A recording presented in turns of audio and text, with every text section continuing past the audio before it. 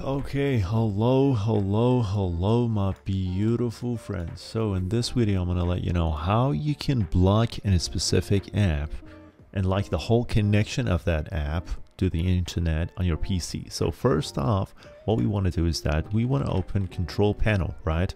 So at this point, just scroll down all the way down to Windows Defender, right?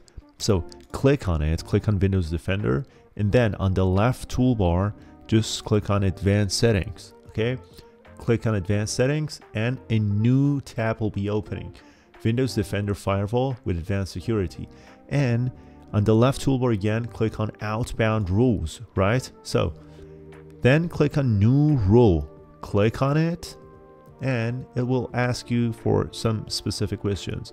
What type of rule would you like to create? Click on program then click on next. So this program path, you just need to find a path to your program. So for this case, we want to block the path to Google Chrome. So I'm going to search Google Chrome down in here in my search bar, right?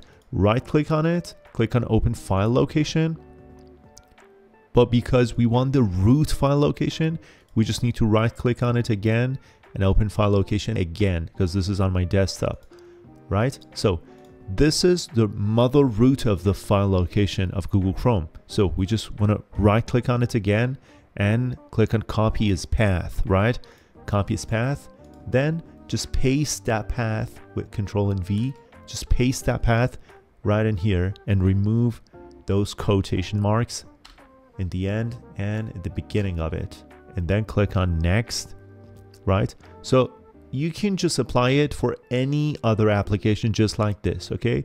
You just need to uh, just copy and paste the mother root uh, file of the application.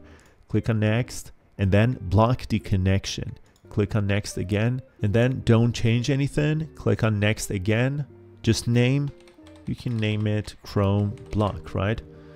Finish so from now on, my whole Google Chrome does not have a connection. So as you can see, by clicking on Gmail, my Google Chrome, like it does not work and it says your internet access is blocked. So it was it all for this video. Thank you so much for watching this video. Please like this video if you find any value and subscribe to my channel. It means a lot to me.